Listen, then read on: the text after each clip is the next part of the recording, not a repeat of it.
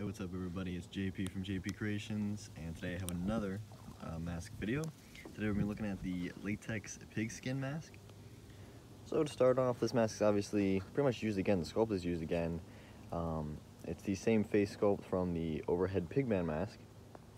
I said in that video that that mask is two pieces, the face piece and the back piece.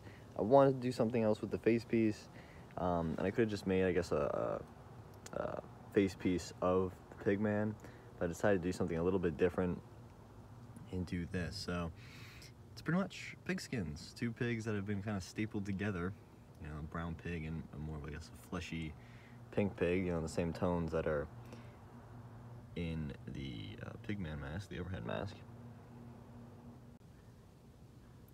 So obviously there is no mouthpiece to this guy. There's no bottom half, it's just the top half.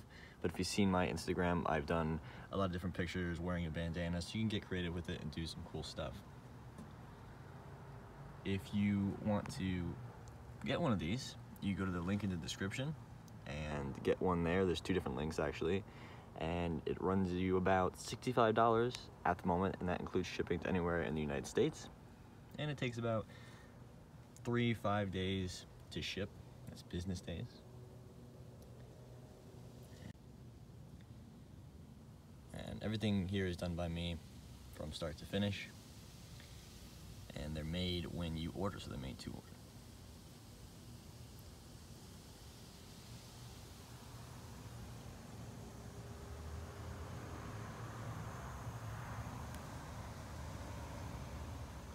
Anyways, hope you guys enjoyed this little video.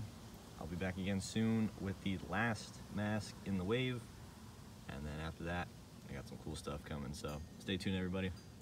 See you in the next one.